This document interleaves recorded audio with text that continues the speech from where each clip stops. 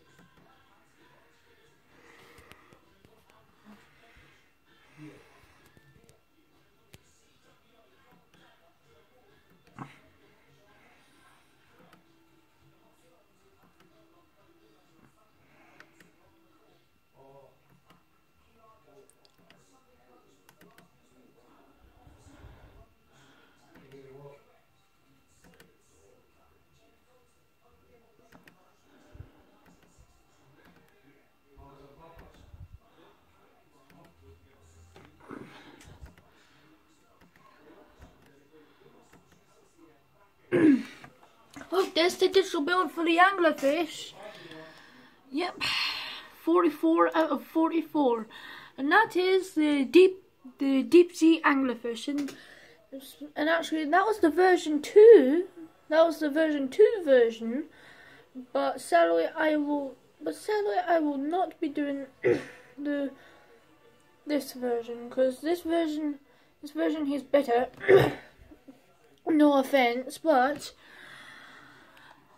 Also, you've read my last video.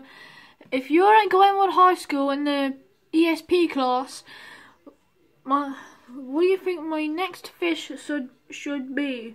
Should it be the lantern fish, the tripod fish, the, the hatchet fish, telescope fish, or football fish? Bye.